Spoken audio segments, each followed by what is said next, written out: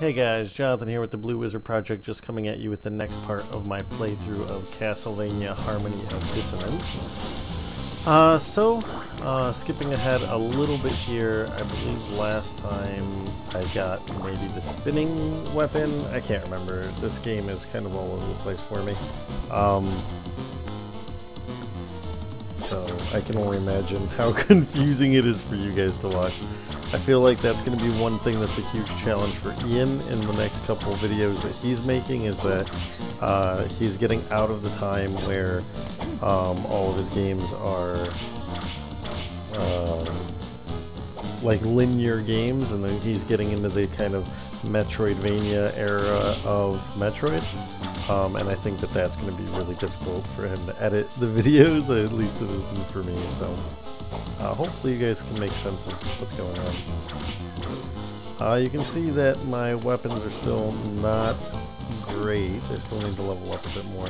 Later on in the game, I believe I can kill those guys in like one, two hits, but uh, not great yet.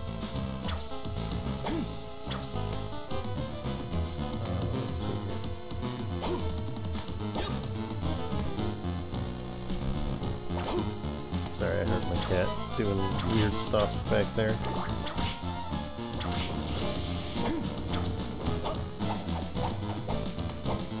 Um, here I have the axe in the game, and actually I found that the axe is, it's not bad, but um, the cross weapon is by far my weapon of choice. There it is. Uh, I need to pick that up. There it goes, before it disappears. But this weapon, um, by itself, it's good. Not not fantastic. Um, the whip generally does more damage, or at least faster damage. But when you pair it with the magic moves in this game, um, the cross weapon, all of the, the magic moves are kind of OP. I should have saved that until I killed this guy. Now I'm stuck, and if I get hit, I'm, just hit.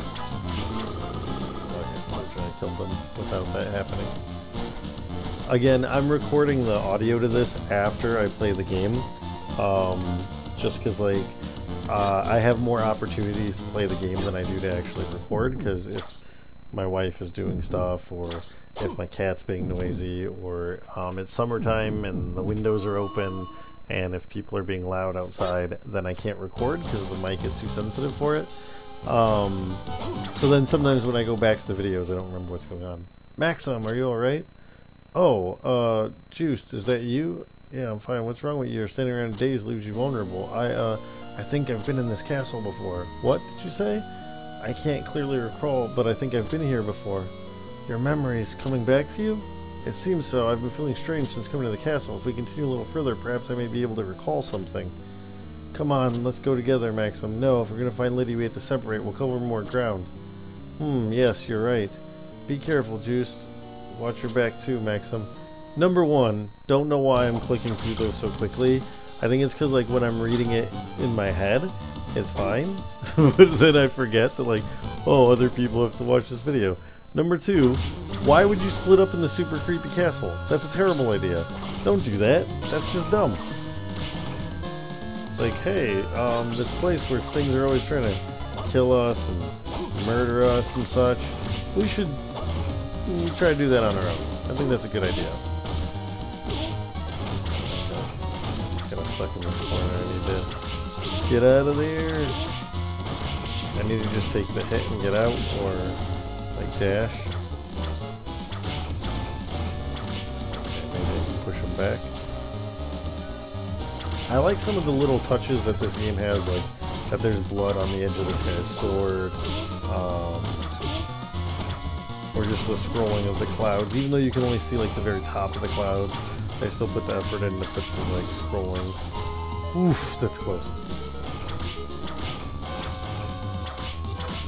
I'm not sure exactly what triggers what makes him stumble, if it's like every so much damage or if it's a timing thing.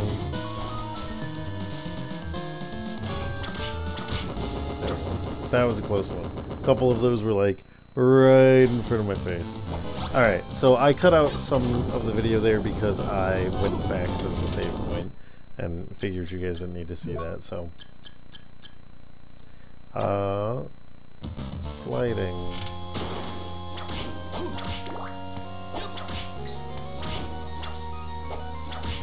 So getting a little bit better.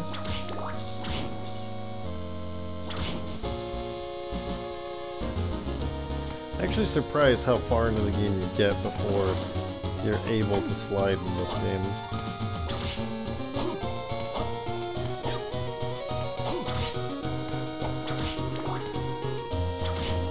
Alright, so I'm gonna go up to that area up there. Uh, might go to a couple areas that I missed where I remember being able to slide.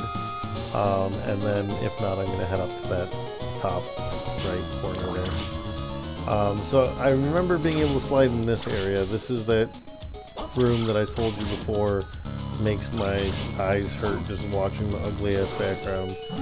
And uh, now I can slide through here, get this heart, and uh, find this gate. Now here's the thing that's stupid in this game.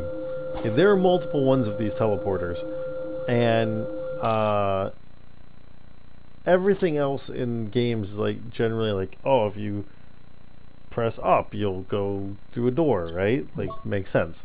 So, you can use this to go through this, like, door and teleport. But you can quick travel between these gates by pressing down. But the game doesn't tell you that. You have to find this item that will tell you that you can do that. And I didn't find that item until way later in the game. So there was so many times, there were so many times that, like, literally I cut out huge sections of this game, like big, like half hour portions of the game where I needed to like backtrack from one of these teleporters to another one and just going through the rooms. And in a way it's good because like you level up and you get experience and find potions and drops and stuff like that. But super annoying that it adds so much time to the game when that's something they could have just told me. Like, oh, if you press down here. Because there's no reason why I would have pressed down there. Um, generally, like, if you press up and that's how that works, then that's it. Like, I don't know. It's just very, very frustrating. So there's two ways I can go here. Uh, I believe the left way is this lava place, and the right way is like a crystal place. And actually, the enemies in this area are too hard. Um, as you're going to see here, uh, sorry, I just remember this from when I was editing the video earlier. Earlier, these guys just keep blocking my hits, and like you can see, like they're wrecking me. Like I only got hit three times with that much damage. Um, the other way, not too much better. So I'm actually going to leave this place uh, and I'll come back much later uh, when I have gained a few levels. And, uh, I believe I might come back here after I get the ability to double jump. There's this rock here.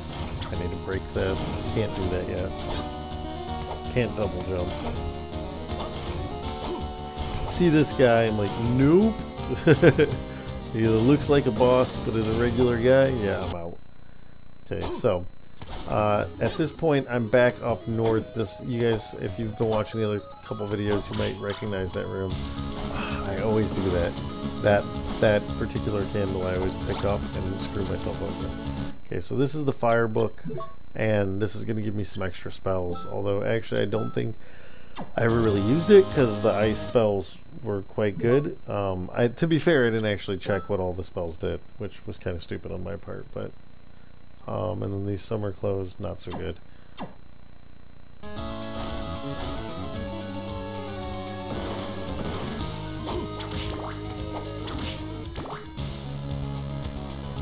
What does Dracula use all of these rooms for? Like, what's that? What, what's the point of those rooms? And how does how do his guests that don't fly or um, jump super high? I keep skipping the item. I don't know why. Maybe this is right. Yes, I finally get around to picking it up. Um, but then I don't think I check if they're any good or not. Alright, so you guys can see from that map that I'm like in this northern area. I'm going to take a look around here. Um, I don't need to go down here, I don't think. Maybe I missed something. Uh, let's find out.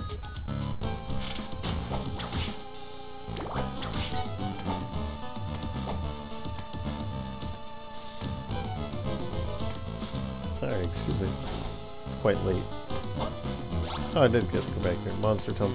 I believe that just, like, is like a bestiary. It just lets me know uh, what I killed and whatnot.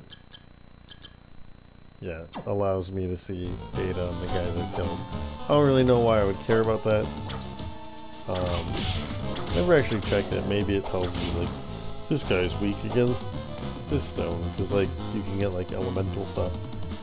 Alright, so I need to go back up and uh, check out this topmost area on the top right hand side. And normally I cut out my backtracking, but I'm so close here that it doesn't, you know, it's going to take like 30 seconds for me to get back to where I was, right? See, there, I'm there. Actually, the Medusa heads in this game are fairly easy to dodge. That's one thing, like, whenever I watch Ian play the old games, that was like one of the things that always turned me off to Castlevania was dodging things like the flea men or the Medusa heads, like Speak of the Devil. Um, I just didn't like them. So, but it's not too bad. Flea men are still kind of a pain in the ass in this game, but by the time you get to a part in the game where there are a lot of flea men, they're pretty weak. Okay, so it looks like I'm gonna have to come back here. I can't jump off there yet.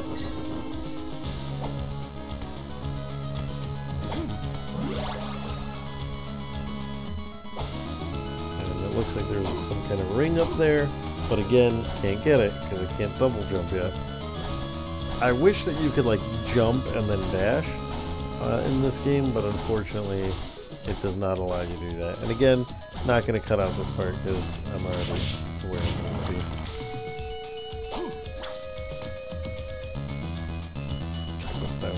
quick. Convenient that those posts always fall from the left side, never from the right side.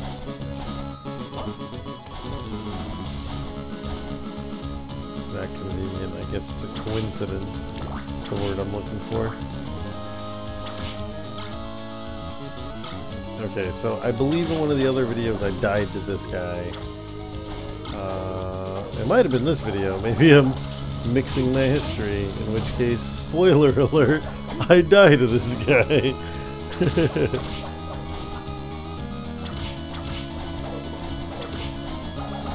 I can't remember, guys. All is blending together. Fought these guys so many times. It might be the old video. No, nope. It looks like it might be this one. Now I don't know. Suspense. Will I die? Won't I die? I think I die. Yep, I died. so, um, I think I only died the one time to this guy. I'm gonna, I already cut the video so that I'm here already. Um, fight this guy again. Try my hand at the, the knife this time.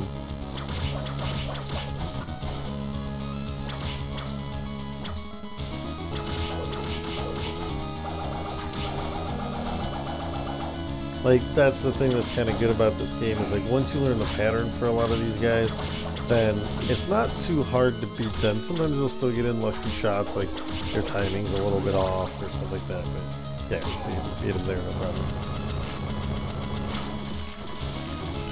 Like, stuff like that, little touches like that, like, oh, he crumbles and you beat him, it's kind of cool. Okay, this door's locked.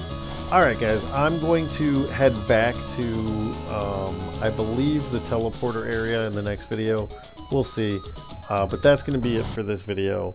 Um, I'll see if I can explain in the next video where I am, and we'll go from there. So hopefully it won't be too hard to follow.